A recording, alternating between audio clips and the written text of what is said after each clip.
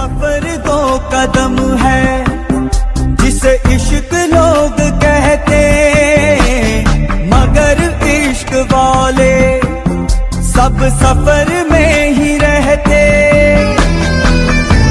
खत्म होता न उम्र भर ही इश्क का रास्ता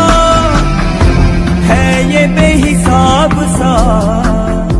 जो तू ना हो तो पा